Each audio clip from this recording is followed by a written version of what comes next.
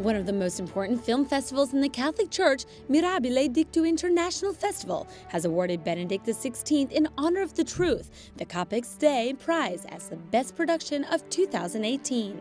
This documentary by Rome Reports analyzes the resignation of Benedict XVI. It's a reality that hadn't happened in the church for seven centuries.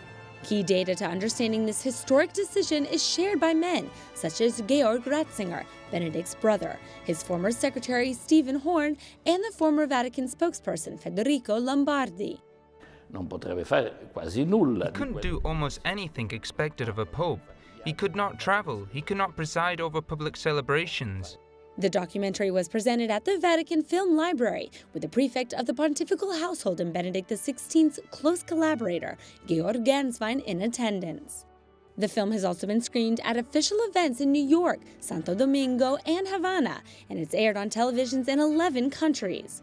Benedict XVI in Honor of the Truth is a Rome Reports production in collaboration with the Ratzinger Foundation and TV Due Mila. It was also sponsored by the Dr. Raymond Tallaj Foundation. It's available online on Vimeo.